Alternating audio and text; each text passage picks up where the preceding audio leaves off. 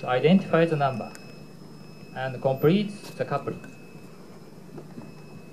Microcommuter keeps the constant distance between two cars by measuring distance with laser radar.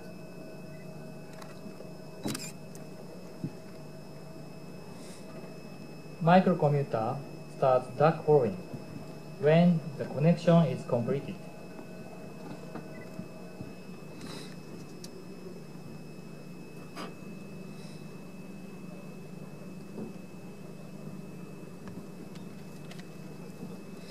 The microcommuter measures the distance through the through its laser radar.